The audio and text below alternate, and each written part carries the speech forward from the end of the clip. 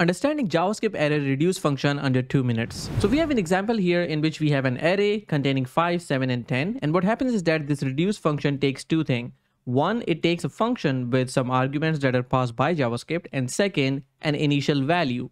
So what happens is that it will go through each of the element one by one. So in the first iteration, it will take 5, then in the next one 7 and in the next one 10 but it starts from the initial value as the first parameter which is x. So reduce function is supposed to combine all of these things or the logic that we have written is it is going to add all of these things and make it the sum of everything.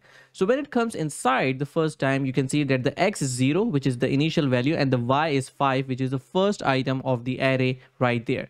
It will combine both of those which would result in 5 so the next time it comes inside the x becomes 5 and the second value 7 in the array becomes the y.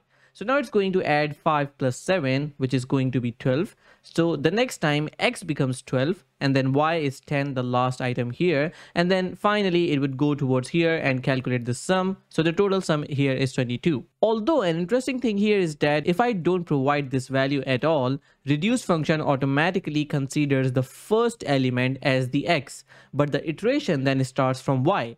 So in this case, if I also wanted to sort of log the index, so I can say console.log index here.